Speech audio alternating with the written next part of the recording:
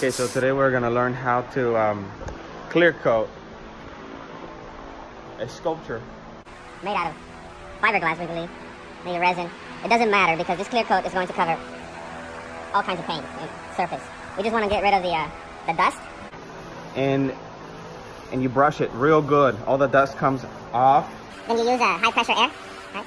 The air blower, and just kind of have a good eye for it. Pay good attention to the gaps, and either way, it's gonna look beautiful. Very nice and glossy. It's gonna be protected from the UV light. It is nice and glossy. This is maybe like a couple coats. It's very thin. Pay good attention to the gaps and either way it's gonna look beautiful. Very nice. It's not just going to look nice and glossy, but it's gonna protect it from the sunlight and time. Let's get to work.